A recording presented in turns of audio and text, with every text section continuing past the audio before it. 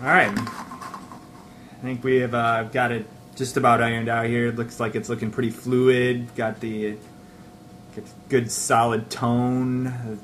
Making sure that the the hues. I'm looking for the just looking for the hues to come through when I get it on the palette, and then you know it'll be be ready to use the canvas and you know uh, to break through with the circles.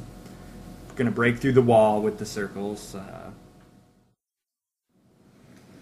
so now I'm gonna, you know, just gotta mentally prepare for this. I just want to make sure that it can be become solid with the wall using fluids. I'm looking for some fluid, sexual solidarity in a visceral kind of expression, so I can just make it through the wall be one with the wall.